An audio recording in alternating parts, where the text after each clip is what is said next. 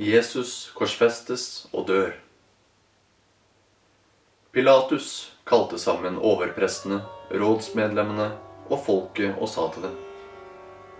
Dere har ført denne mannen framfor meg og sagt at han villeder folket.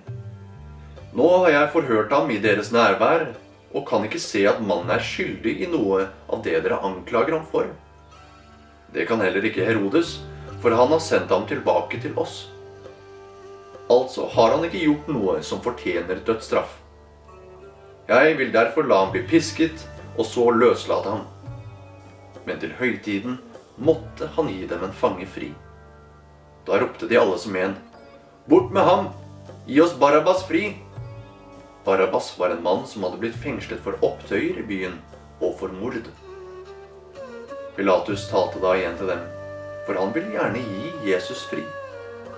Men de ropte tilbake, Korsfest! Korsfest ham!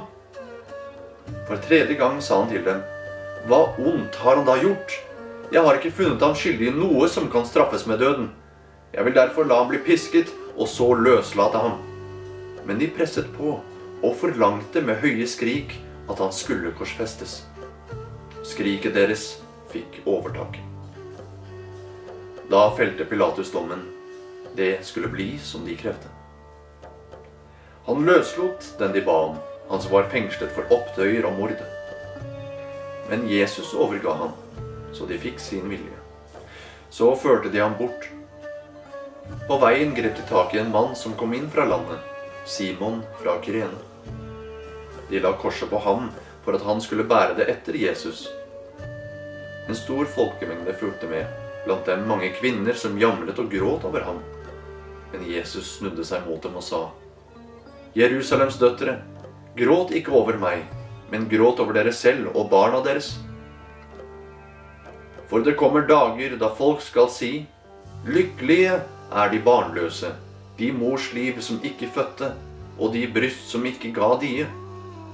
Da skal de si til fjellene, fall over oss, og til haugene, skjul oss. For gjør de slik med det grønne treet, hvordan skal det da gå med det tørre? Også to andre forbrytere ble ført bort for å bli henrettet sammen med ham. Og da de kom til det stedet som heter Hodeskallen, korsfestet de både ham og forbryterne der, den ene på høyre side og den andre på venstre. Men Jesus sa, Far, tilgi dem, for de vet ikke hva de gjør. Så kastet de lodd om klærne hans og delte dem mellom seg. Folket sto og så på, men rådsherrene hånte ham. Andre har han frelst, sa de. La han nå frelse seg selv dersom han er Guds Messias, den utvalgte.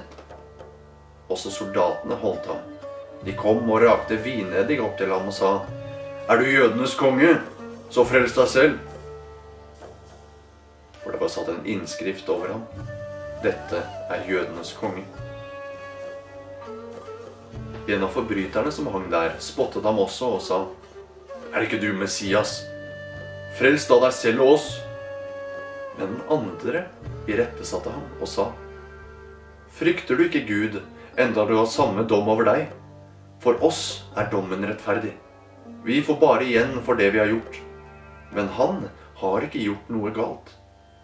Så sa han, Jesus, husk på meg når du kommer i ditt rike. Jesus svarte, Sannelig, jeg sier deg, i dag skal du være med meg i paradis. Det var allerede omkring den sjette time.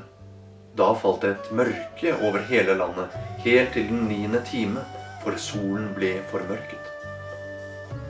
Forhenget i tempelet revnet etter midten, og Jesus ropte med høy røst, Far, i dine hender overgir jeg min ånd. Da han hadde sagt det, utåndet han. Nå var det en rådsherre ved navn Josef fra Arimathea. En god og rettskaffen mann som ikke hadde vært med på det de andre hadde vedtatt og satt i verk. Han gikk til Pilatus og ba om å få Jesu kropp. Og Josef tok Jesu kropp ned, svøpte den i et linklede og la ham i en grav som var hugget ut i bergveggen, og som det ennå ikke var lagt noen i.